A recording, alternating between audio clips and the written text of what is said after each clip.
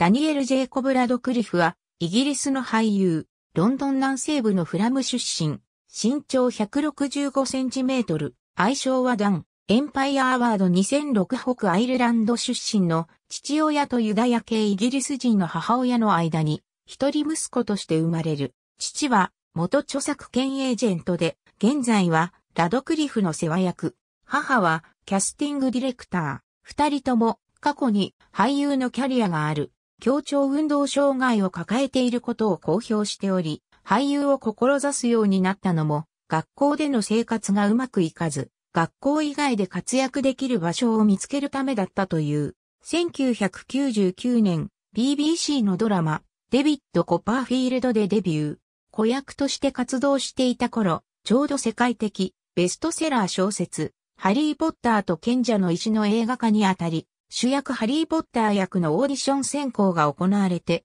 いたが、なかなかハリーのイメージに合う少年が見つからなかった。そんな中、ラドクリフが両親と芝居を見に行っていた際、偶然同席していたスタッフがラドクリフを見て、オーディション参加を打診し、ハリー役を射止めた。ハリー・ポッターと死の秘宝パート1のプレミア映画、ハリー・ポッターと賢者の石は、世界的メガヒットになり、一躍有名になった。日本でも大ブームとなり、2002年12月にラドクリフが初訪日した際には空港に多くのファンが押し寄せた。その際にハリー・ポッターの紛争をしたファンをポッタリアンと呼んだ。本来ハリー役はシリーズ2作目以降は本人の成長に伴って代役を立てる予定だったが、あまりにハリー役がハマっていたことや、ストーリーに伴ってキャラクターもきちんと年を取るシリーズであること、原作者の強い意向などからそのまま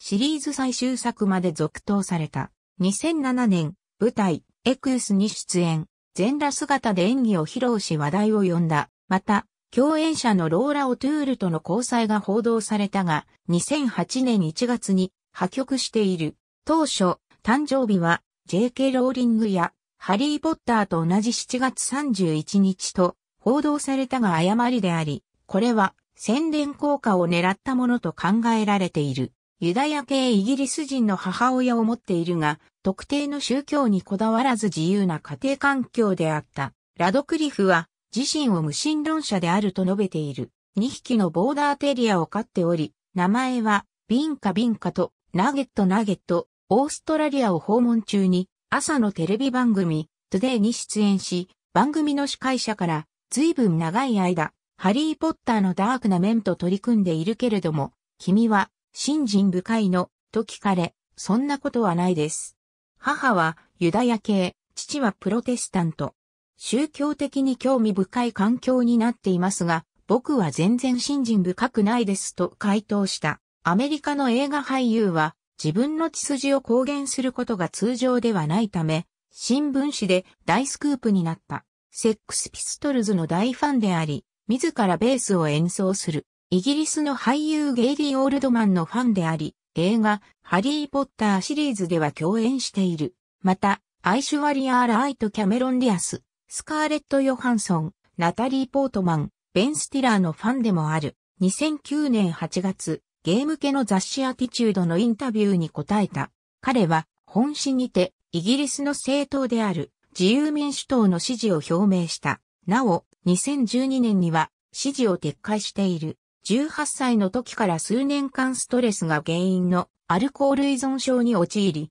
ハリーポッターの撮影時もアルコールが残ったまま参加したことがあると告白し話題となった。また、アルコール依存症が原因で両親と疎遠になったが、約2年間禁酒し、両親との関係は修復されたと語っている。2012年12月、再び酒を飲んで喧嘩騒ぎを起こし、アルコール依存症が再発したと報じられた。2017年現在では、2013年の冬より、再び禁酒している。2012年初めに、ラドクリフは突然激しい頭痛に襲われ、仕事を複数キャンセルした。病院で検査を受けたところ、群発頭痛という稀な病気を発症していることが分かった。群発頭痛は別名自殺頭痛とも呼ばれ、発作が起きるとスプーンで目玉をえぐられるほどの激痛が一定期間毎日のように続くというラドクリフは、とてつもない痛みで、片頭痛が可愛く感じるほどだ。その痛みに襲われると、自分がすごく根性なしに思えた。毎日すごく強い頭痛薬を飲んでいたのに、どうして痛みが収まらないんだ？と思った。と語っている。なお、群発頭痛は現在でも原因が解明されておらず、予防薬を飲んだり痛み止めの注射を打ったり、薬を飲んだりする以外に根本的な治療法は確立されていない。2012年7月22日に南アフリカのシティプレスに対し、自分は南アフリカ人、ポーランド人、ロシア人、ユダヤの血や北アイルランドプロテスタントの血が入ってると告白し、南アフリカとのつながりがあることを強調した。母方の祖父が南アフリカ人であるが、世界で最も良い人というようなタイプではなかったので、僕たちはほとんどこのことを話さない。祖父は基本的に祖母のことを大事にしない人だった。だから祖母は生まれて2週間の僕の母親を連れて南アフリカから逃げた。母は南アフリカ航空で南アフリカから出国した赤ちゃんの中で最年少だったそうだ。と語っている米ニュースサイトデイリービーストのインタビューでは英国の王政に反対であることを明かしている。君主制の意義がわからない。もちろん強い愛国心を抱いているし、英国民であることは大きな誇りだ。だけど、君主制がこの国の問題を象徴していると思う。王室が間違ったことをしているわけじゃないけど、階級制度が好きになれない。また、パキスタン人に対する差別用語を使用したり、仮想パーティーでナチスドイツの制服を着用したりして問題になったヘンリー王子についても苦言を呈している。2012年、エリザベス女王即位60周年祝賀コンサートのテーマソングのリードボーカルにブロードウェイでミュージカルに出演した経験のあるラドクリフを起用することが検討されていたが、彼が反王室的な発言をしていたことが分かったために、起用を取りやめたと、コンサートの発起人の一人である、アンドルー・ロイド・ウェバーが、テレグラフ紙に語っている。2009年10月、A 大衆紙、ザ・サンによると、20歳ながら、その総資産が十数億円と言われているラドクリフだが、ニューヨークのグリニッチビレッジに376万ポンドのタウンハウスを新たに購入したようである。ラドクリフはすでにニューヨーク市内に2つの豪華な物件を所有しており、今回で3件目となる。この物件は5つのベッドルームに4つのバスルーム、6つの暖炉と庭を備えているという。2010年2月、バニティフェア氏が2009年に最も稼いだハリウッドの稼ぎ手のランキングを発表し、4、100万ドルを稼いで6位にランクインした。この金額は映画の出演料だけでなく、商品のロイヤリティ収入なども含んでいる。2010年9月、経済誌、ホーブスが過去1年間で最も高額なギャラを獲得したハリウッドの俳優のランキングを発表し、1、660万ドルを稼いで5位にランクインした。2010年10月、デイリーメール紙の電子版によると、この1年間で個人資産が昨年の2倍に届くほどに増えているという。ラドクリフの両親が資産管理のために2000年に設立した会社、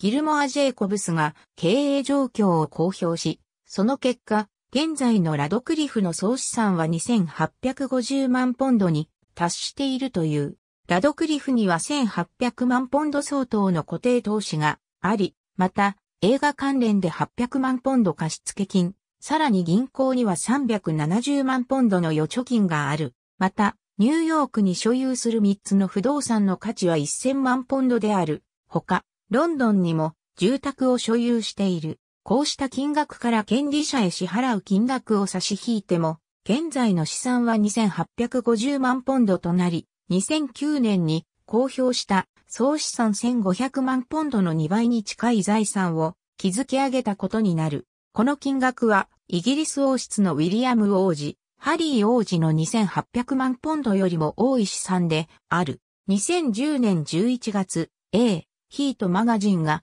最もリッチな30歳以下のイギリス人、スターランキングを発表し、ラドクリフは推定総資産額が約4560万ポンドで1位にランクインした。この総資産のうち、2500万ポンドはシリーズ最終章のハリーポッターと死の秘宝のパート1とパート2で稼いだという。2011年5月、バンメディアインターナショナルによると、イギリスの30歳未満の億万長者リストが発表された。ラドクリフの昨年の収入は約に850万ポンドで、総資産は4、800万ポンドと推定されており、この金額は第5位で俳優としてはトップの資産になるという。2011年7月、A 氏、ガーディアンによるとラドクリフは、ニューヨークのトライベッカとグリニッジビレッジ、双方に総額1050万ポンドの不動産を3件所有しており、双方のアパートは週3000ポンドで賃貸に出しているという。他にもロンドン市内に73万ポンドのマンションも所有しているという IMDB バイオグラフィーより、ハリポタ・ダニエル・ラドクリフ、運動障害で靴紐が結べないと衝撃告白。シネマトゥゲ